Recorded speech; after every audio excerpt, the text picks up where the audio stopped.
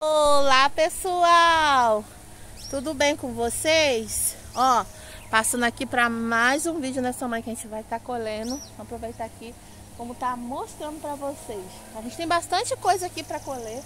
Temos couve-flor, tem brócolis ramado, tem uma alface, mas só que a gente está com pouco pedido. Então a gente vai tirar só aquilo que é, pediram pra gente para não tirar, para não ficar sobrando, não é verdade? E a gente vai aproveitar e vai mostrando para vocês, é lógico. Bora lá com a Ju. Vamos começar aqui colhendo brócolis ramado. Olha como que tá um luxo isso daqui. A gente já tirou um pouco essa semana. Vou começar aqui colhendo ele. Se não tirar, ele floresce logo, ó. Tá vendo? Vou colher os que estão bons aqui. Lá atrás tem bastante. Esse aqui é uns pés que tem aqui na frente. Olha o americano como que tá crescendo. Olha como tem couve-flor. Encostar nessa cesta bem esse, esses negocinhos. Pega uma faca, a faca lá, Davi, que eu também vou colher aqui a couve-flor. Vai dar uma coisinha. Deixa eu ver qual que tá maior. Tem couve-flor. Olha aí. Em todo lugar. Você olha. Olha que que luxo que tá. Os americanos, ó. Tá crescendo bastante rapidinho. Olha que lindo. Ovo flor. Acho que elas de lá estão maior mesmo. Vamos tirar a dali, tá? Maior.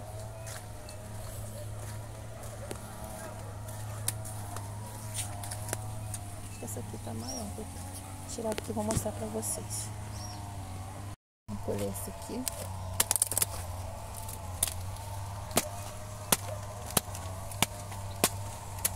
Aqui a cliente pede pra gente tirar. É. Tira. Pra gente tirar a folha, a gente tira a folha. Olha aí que linda.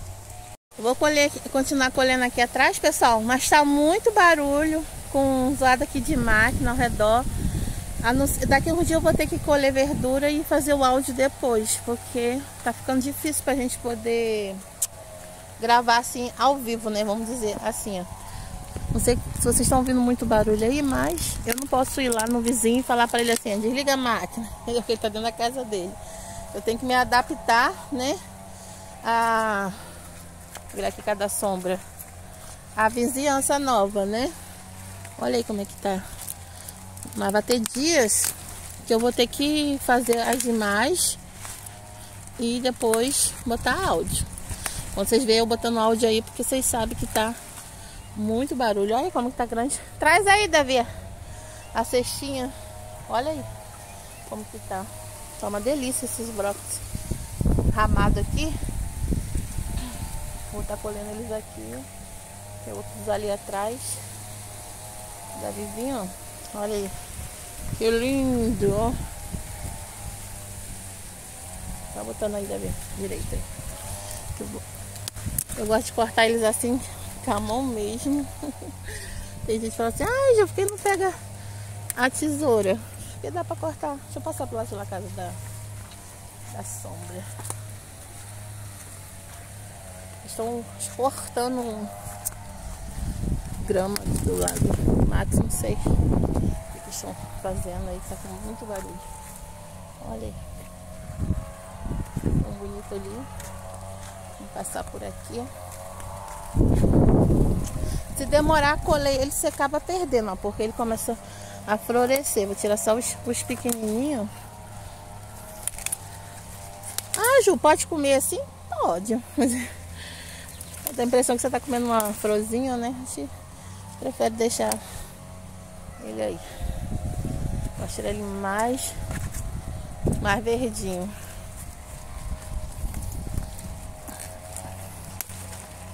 Ó.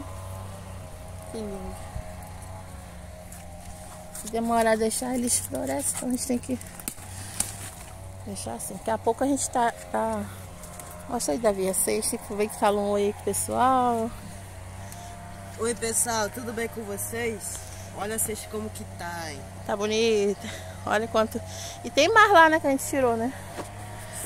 Olha as couve-flor do lado ali, pessoal, como que tá crescendo. Eu tenho couve-flor é, que a gente está colhendo. Tem couve-flor que daqui uns dias vai crescer. Tem couve-flor pequenininha em crescimento.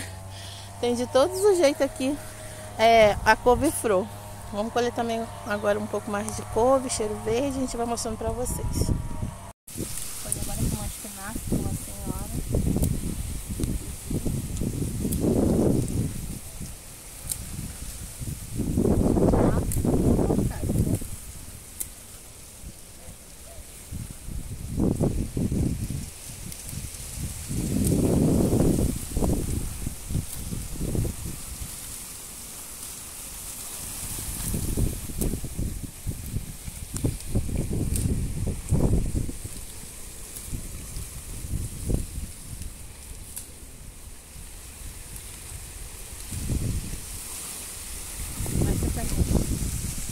Daqui também vou fazer a poda para poder elas nascer verdinha de novo, elas já estão começando a sementar por baixo. Aí elas vão ficando amarelas. A gente tem que vir fazer a poda delas geral para poder elas nascer verdinhas de novo. A gente vai colhendo, vai botando semente.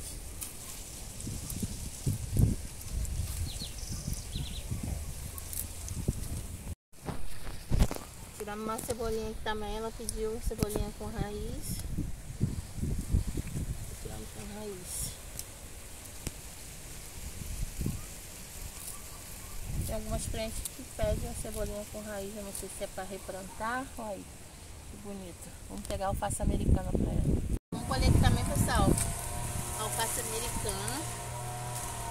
Aqui já estão fechando já. Tá colhendo elas finalizando a, a colheita aqui dessa americana. Então, quando ela tá fechando, a gente tira bastante a folha, só deixa ela bem durinha. Tá ventando também bastante aqui hoje, pessoal. Já pedindo vocês que, que seguem a gente aí para fazer o que, Davi? Para deixar o like, se inscrever no canal e compartilhar para todos os aplicativos. Seja bem-vindo, se inscreva aí no canal e ative o sininho de todas as notificações. Quer fazer parte dessa família, né? Agora, a horta da Ju, gente, era horta pomar no quintal de casa, a gente botou só a horta da Ju, para poder ficar fácil de vocês acharem a gente, tá bom, pessoal? Vocês que quiserem nos acompanhar lá no Insta, é horta da Ju também, lá no Insta, lá tem sempre vídeo curto lá de ensino lá dando dica rápido para você aprender a cultivar em casa aí, tá bom? Nós temos nossa página lá no Facebook também. E também é o mesmo nome aí do canal, Horta da Ju.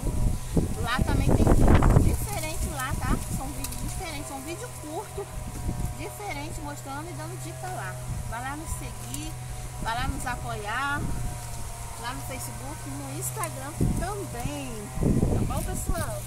Fazer parte dessa família, nossa família aqui diária. A gente está sempre postando novidade para vocês. Vídeo de colheita. Não tô nem postando muito vídeo de colheita porque o pessoal tava reclamando. Ah, Ju, você tá postando muito vídeo de colheita. Posta mais vídeo de dica. Tô postando mais vídeo de dica agora.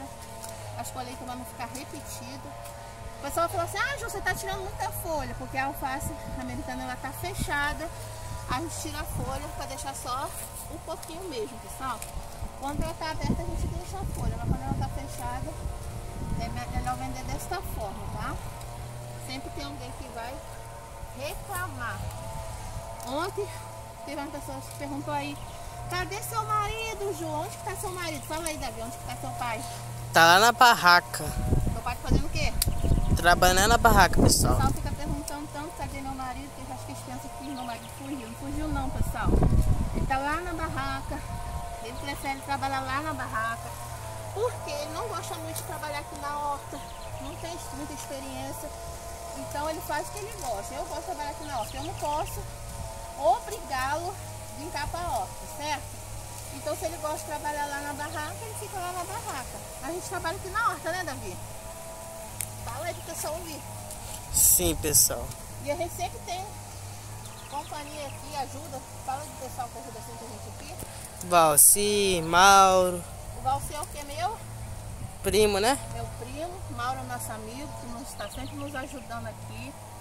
O Maurinho ama estar tá aqui na, na horta, porque ele... Chega mais pra cá, Davi. O Maurinho, ele é de Minas, o nome dele é Mauro. Eu que chamo ele de Maurinho, porque ele faz parte da, nossa família. Eu conheço ele mais de 25 anos. Ele é meu amigo, muitos anos. E ele é sozinho aqui, ele não tem família. Entendeu, pessoal? A família dele é a gente. Olha aí que belezinha. Então, quando ele não está trabalhando, para ele não ficar em casa sozinho, ele ama vir aqui para a horta ajudar a gente, tá? Ele se sente abraçado aqui, ele leva verdura à vontade para ele, para casa dele, e ele gosta de ficar aqui ajudando. Ele falou, Ju, posso ir para a horta para estar te ajudando? Porque eu gosto.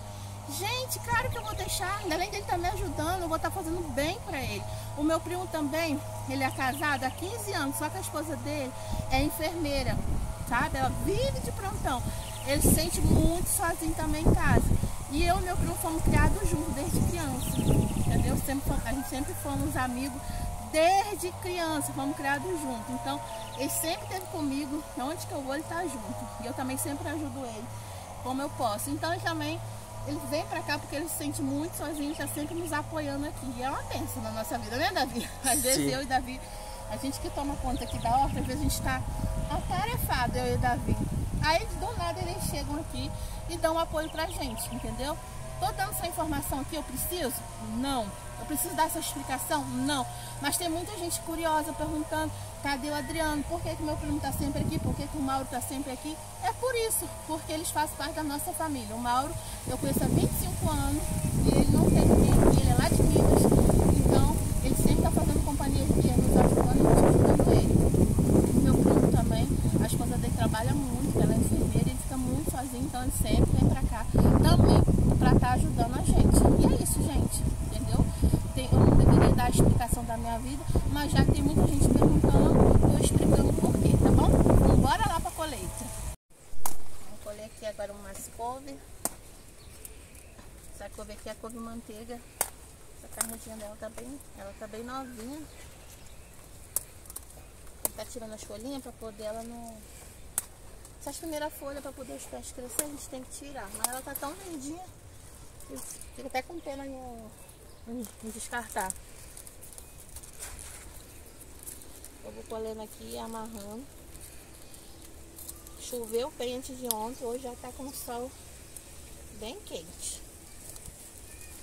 Olha que bonito. Tirar também da crespa. Esse cadeirinho aqui já vou tirando já. Crespa já vou tirando. A lisa aqui já na frente aqui já vou colhendo. Vou fazer uns amarradinhos. Ontem eu colhi bastante verdura. Hoje eu só tô tirando pra repor a falta lá. Ladrão fica lá na barraca vendendo. Tem cliente que gosta de vir aqui na horta pegar, né? E tem outros que já gostam de ir lá, porque é lá mais perto. A horta fica aqui mais longe. Quando vem aqui pegar, a gente tira aqui na hora. Lá na barraca a gente manda de manhã, aí saiu. Hoje eu vou cortando aqui, ó. Aí, depois que vai saindo, a gente vai mandando.